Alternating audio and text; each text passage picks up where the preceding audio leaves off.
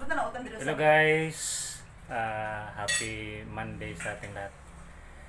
Ah, ano guys, Ah, time namin. Ito guys, Hi, ma- guys. maaga yung dinner namin.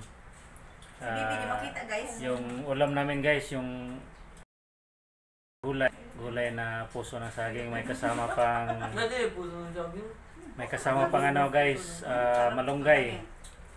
Yan guys. Kumpleto kami ngayon guys kasi nandito yung dalawang anak kayo, namin. anak ka ng gamay. Galing Manila. Yan.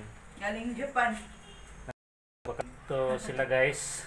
Two months guys. Two months silang nagbakasyon doon sa Two months kapatid na ng asawa ko. Tugod pangkuan, tugod pangkuan. Simula nung nasunog yung bahay namin. Nasunog Ngayon lang ang sila, pinagklase yun. ngayon lang kami kasabay dito sa amin. Yan guys. Thank you guys. Ah, masayang Kain masaya tayo kami. guys. Nag-fish kami guys. Kasi nandito yung bunso namin. Tapos yung panganay namin doon. Yan. Don Pedro. Sali mo rin ako. Ah, Buha yung misis ko guys.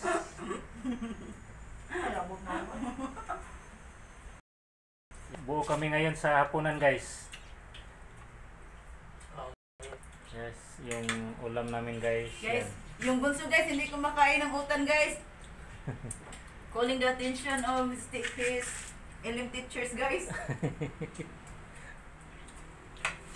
Yeah.